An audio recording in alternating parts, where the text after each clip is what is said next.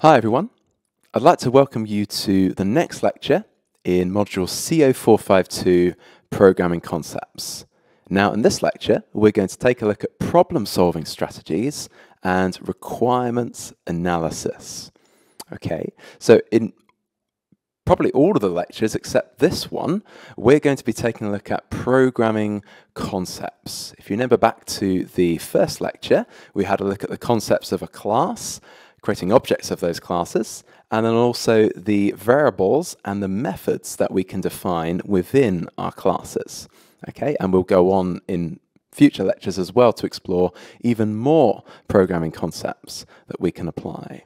But in this lecture, which is probably going to be unique out of all the lectures that we have for this module, I want us to take a step back before we even come to implementing a solution, or in other words, coding a solution to a given problem. I want us to think about how we go about approaching that problem. Indeed, one of the most commonly asked questions that I get from students is, Nick, where do I start with this problem? You've talked to me about classes and objects, but where do I apply them and how do I do that? So in this lecture, I want us to think about how we can identify, before we even get to coding, which coding concepts that we would require and required to implement to actually solve this problem or any given problem that we might encounter. Okay, so in the, I say, in this lecture, we're not going to be focusing too much upon the implementation stage, which is required to solve a problem. But first, we need to figure out what we're supposed to be doing. Can we identify the problem that we're supposed to be solving? And can we pick out the concepts that we're required to use to actually design a solution for this problem? Okay, so this is a, a problem solving process that I like to use when approaching a problem. And I'll model it in the upcoming slides. First of all, I want to identify what programming concepts I'm going to need to use in the sentences of a particular brief. Maybe it's a problem description, or maybe I'm given a list of requirements, as indeed we'll be giving you for this module. And so it's easier to concentrate on them one at a time. So that's what I'll do. I'll break down a problem statement one line at a time and see if we can pick out uh, some of the concepts that we're going to need to use. And then having broken down the problem into smaller problems or line by line, can we then summarize the problem? Can we then get a better understanding of what we're supposed to be doing? Okay, that's the idea. So it can be hard when you're trying to read through a problem to actually get the main gist of the problem. You know, what is this problem about? Where do I start? So that's why I'm advocating first, break it down into its component parts. And then once we've had a deep dive through the different phrases and the different statements, different sentences in this uh, problem description or list of requirements, hopefully then we get a better understanding of how these parts work together and what the actual problem is. Can we summarize it in a sentence? Okay. And then, of course, once you've done that, once you've got a grasp of the problem and you've identified which concepts you would need to use, then comes the next stage of actually implementing that. So you've worked out which concepts you need to use, so therefore then you have to actually write the code to be able to solve the problem. Okay, and of course there's a, a lot of different things that can go wrong in terms of the syntax there. Those there are a lot of problems there in that domain. But what I want to do to start is actually just focus upon the preliminary stage of actually just breaking down the description and thinking about how we would actually go about solving any given problem. Okay, so we're going to take a high-level view uh, in this lecture. As I say, it's going to be probably unique from the other lectures where we'll be uh, looking more at the syntax and the, the concepts, but here I want us to think uh, just more, more broadly and more generally and pick out which concept we would need to use here. Okay, so let's take this problem. This is a well-known problem in computing education research literature. It's been around since the 80s and has been the source of many studies since then. And it goes like this. So I'll read it out. Problem. read in integers that represent daily rainfall and print out the average daily rainfall. If the input value of rainfall is less than zero, prompt the user for a new rainfall. And when you read in 99999, print out the average of the positive integers that were input other than 99999. Okay, so that's the problem statement. Imagine you were given this. Now, let's break it down bit by bit and work out if we can identify any concepts that we might be able to draw out of this and then eventually come to code them. Okay, so let's start by identifying the concepts. So we have a look at the very first phrase. Read in integers that represent daily rainfall. Okay, so we haven't technically looked at the concept of input yet and how we might do that in Java, but we can still work out that reading is an action, it's an operation. So when you see verbs doing words like get, set, print, calculate, uh, add, insert, remove, those words, hopefully you remember from the previous lecture, indicate that these are good names for methods. Remember, these are blocks of code that perform one task. Okay, so even though we haven't looked at the uh, processes, we, the statements we need to write in order to input statements into our Java programs, that will come later in the module, hopefully we can start to categorize just from looking at the words used in problems to work out, ah, this is a doing word, it's a verb, it's asking me to add, get, set, remove, print, insert, it's asking me to do something, so therefore this lends itself to a method. Okay, that's one of the concepts that we looked at previously. So can we pick out methods from reading these descriptions of problems? Okay, so we're told we need to read in integers, and their integers quite explicitly gives us the data type, doesn't it? So hopefully you remember, data types refers to variables or types of data. And in Java, we need to define our variables to be of a certain type, meaning that they store data of that type. Okay, so we're probably going to have to have a storage area that can store integer values that represent daily rainfall. Okay, so we've already picked out quite a lot already from just this first half of the sentence. Uh, let's go on even more. Look at the next half of the sentence. And then we need to print out the average daily rainfall. So again, print. Hopefully you're starting to see printing is a doing word, it's a verb, so therefore that lends itself to another method. Okay, we can have one method for input and one method for output. All right, and then what we're printing out, we're printing out the average daily rainfall. So average is a calculation, again, a doing word, so that could be a method in itself. We could create another method uh, to calculate to basically sum up all the different rainfalls that we've entered and then divide that by the number of rainfalls that we entered. Okay, so if we say collected the rainfall for a week, seven days, then we'd add them all up and then divide by seven, the total number of days that we uh, input the data for. Okay, so already I'm seeing three potential methods that we could create. One to input the rainfall, one to then process that rainfall, calculate the average, and another one to then print it out. Okay, and that's a, a, very typical pattern, by the way, for most programs, especially in this module. First, input data, and then do something with it, calculate it, modify it, process it in some way, and then usually output it to the screen so that we can see it. Okay, so input, calculation, output. Very typical process for our programs. Okay, let's move on. Next sentence. Okay, if the input value of rainfall is less than zero, prompt the user for a new rainfall. Okay, so the very first word here I want to focus on is if. Okay, we haven't yet looked at if statements. We're going to do that in the next lecture. But again, hopefully, just applying some logic here, conditionality. Well, we're probably going to have to write a piece of code to respond to this condition. So if the input is less than zero, there's our condition, by the way.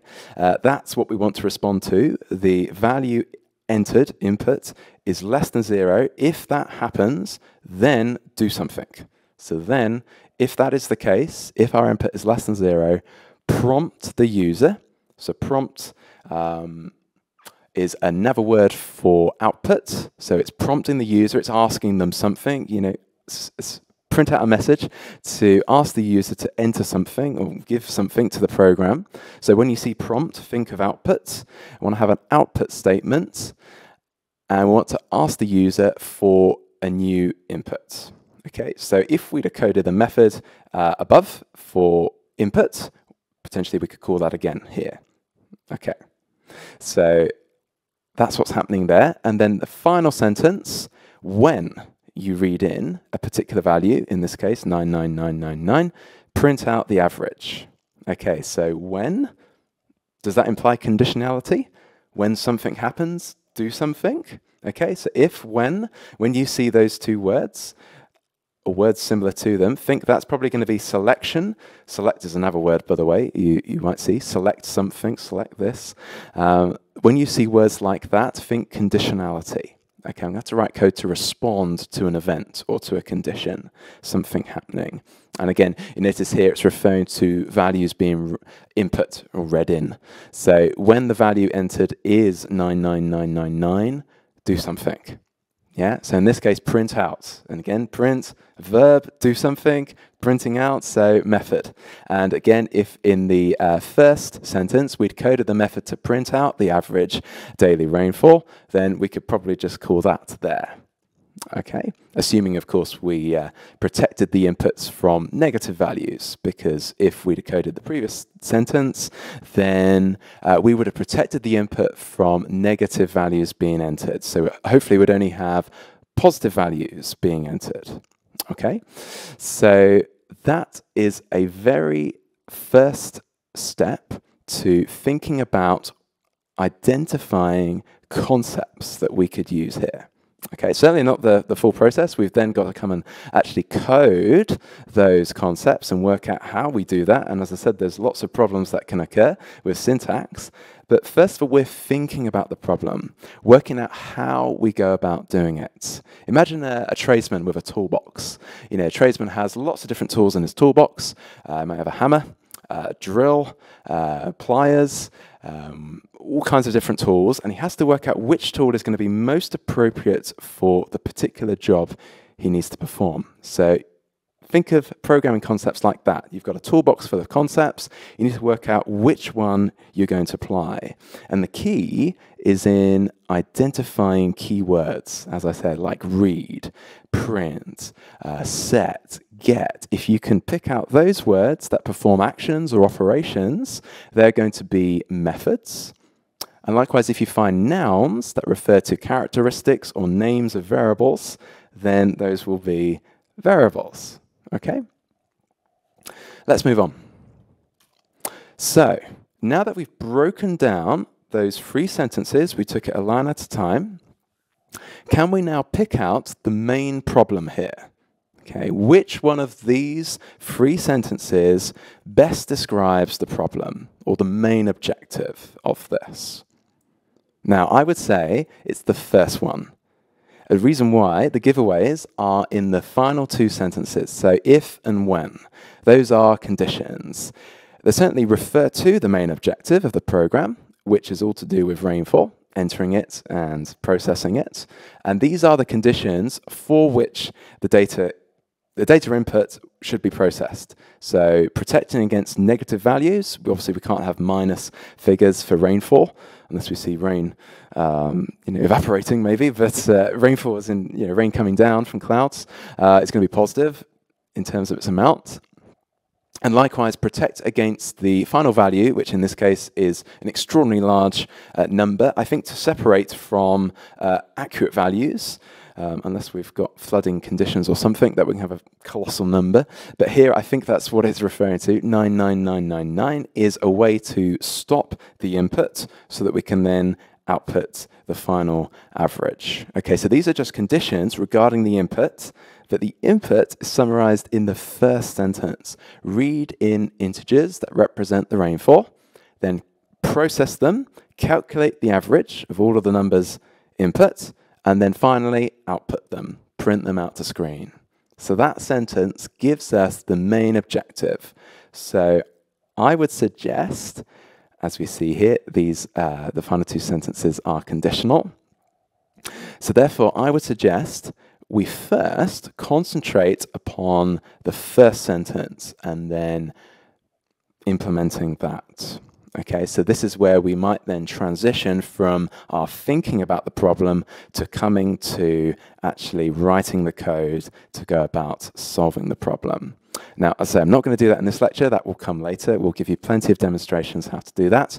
We're just staying at the high level, thinking how we can first approach a problem. Okay, so that's what I recommend, implementing the core functionality first. And if you want to, feel free to separate parts of sentences from descriptions and uh, problem scenarios. If you want to, we're going to give you these uh, in this format. So we can give you uh, a list of uh, different uh, functions and different conditions to implement. And uh, if you want to, you could separate that first sentence into separate points, uh, maybe even the second uh, statement here again into uh, three points if you want to. You can have one for reading in for the input, another for calculating the average, and then the third one could be printing it out. Here they're joined together in the second one, but if you want to, as I say, you could separate them further for further breakdown. Okay? And then once you have implemented that core functionality, that's then the point to extend it with coding the conditions, coding the extras, the um, parts to extend the core functionality, or at least give more validation and meaning to that core functionality. Okay, I mean, technically you could start with the conditionality, uh, coding the if statements here for this, uh, the three and the four uh, list points here, but uh, our recommendation would be to get a working program first. Okay, it's much easier when you've got something working to then change it. Um, if you're struggling to get something working, that's going to be frustrating, and you could spend a lot of time trying to fix that and then miss out on the core functionality. Okay, so that's our recommendation uh, throughout the module is first, implement the core, the core functionality, get that working first, and then extend it. Okay, so don't worry, don't panic. You don't have to do anything like that for this week. This is just an example of a description of a problem and how you might go about you know, deciphering and translating the words written in the sentences in English and picking out what those might mean in terms of programming.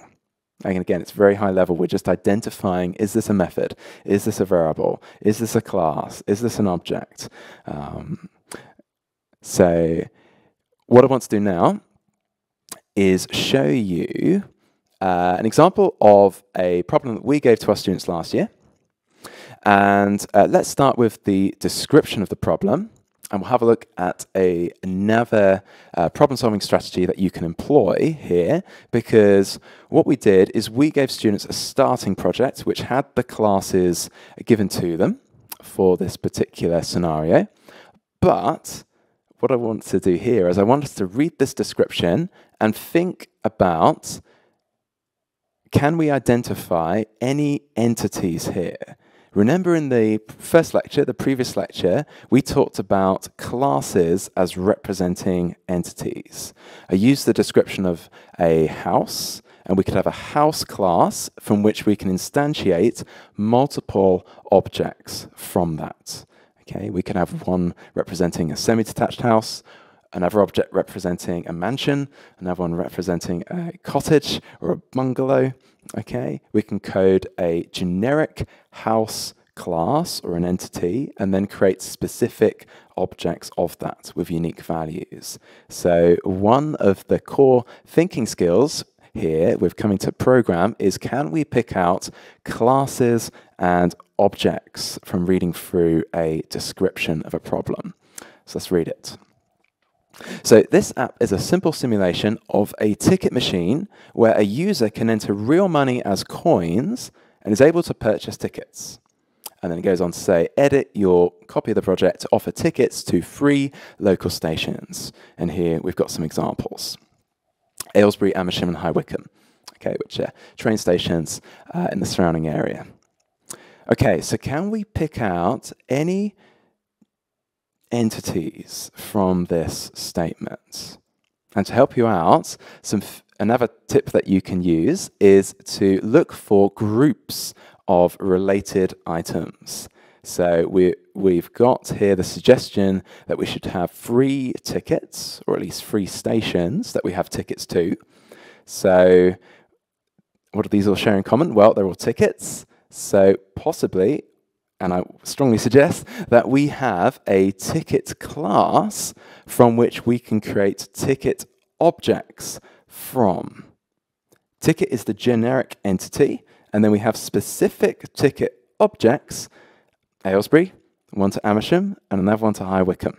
And those have attributes. So they have a name, you know, the name of the location where they're going to, the station, and a price. Okay? So that's one of the entities that we can pick out here. Okay, so even if you can't identify which one of the words is the more generic, have a look for specific examples of a group of items. So here the group of items are tickets. So therefore, if you've got a group of tickets, we can probably we can have a ticket class to model the objects of that entity. The other, and then the other two are a bit more subtle uh, because the other two are coins and ticket machine. So coins, okay, with this example, we've got a price Again, these all share in common. Uh, tickets all cost money. So therefore, we could have a coin type. We actually go on to model it as an enumerate type, which we're going to come to in the next lecture. But we could have a coin structure to then model specific instances of coins like 10p or 20p or a pound or two pounds. Okay. Um, so therefore we have a group of coins. So therefore we can have a entity referring to coins. And then finally, the final one is the ticket machine itself. So uh, in the actual program, there was probably only one object of the ticket machine, but again, thinking on uh, gen general terms, if in a station you could have multiple ticket machines located around the station, that lends itself to a group of objects, group of related items, ticket machines. Therefore, we can have a ticket machine class. And indeed, in this case, the ticket machine class is responsible for allocating the tickets, removing the tickets, processing the tickets, printing out the tickets, etc., etc., etc. Okay, so it manages all the different uh, behaviors and operations there. Okay, so as I say, you haven't been given the code for this, but I'm hoping you can start to employ some thinking skills and identify the classes before you even see them. Okay, because indeed these were the classes that we gave the students. Ticket class, coins and numeric type, and the ticket machine class itself. Okay, now let's take a look at some requirements that we gave to students. So again, coming back to what we started with, we're going to take each requirement line by line and see if we can pull out some of the concepts we might need to employ to code and solve this problem. So, first requirements.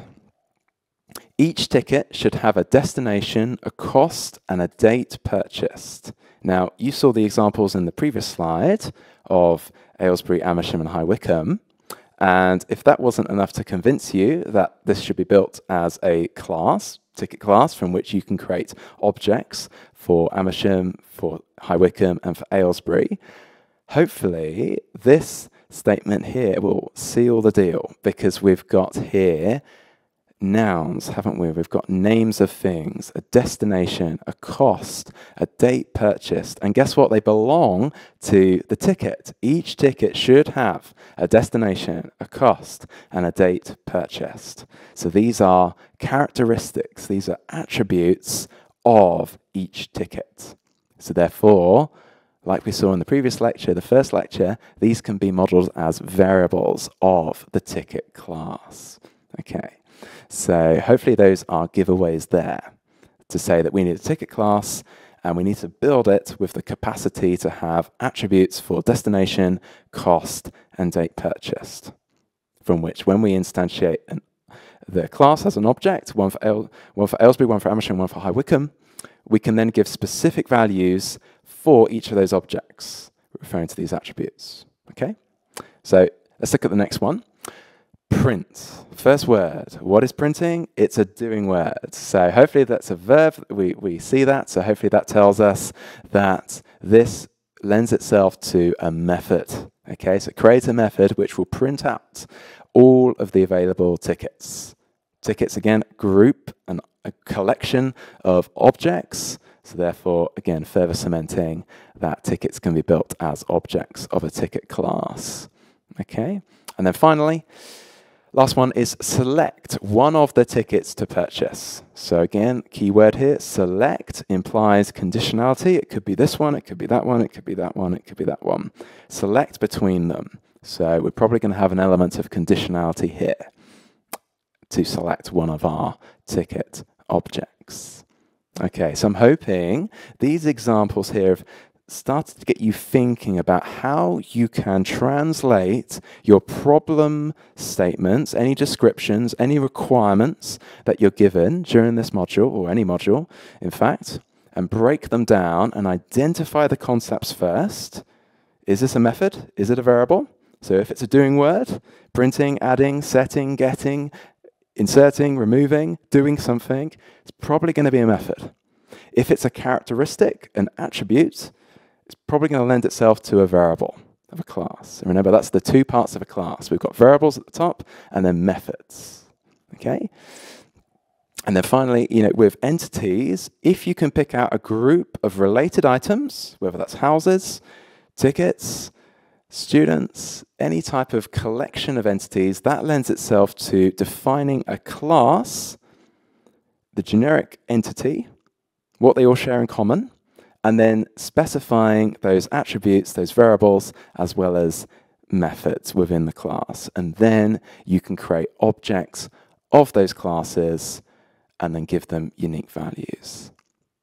Okay, so we haven't actually looked at the coding of this yet, but remember, this is just the first step. It's just getting you to identify which one of those tools in your toolbox that you need to apply to go about solving a problem. So I hope that was helpful. I'll see you in the next lecture.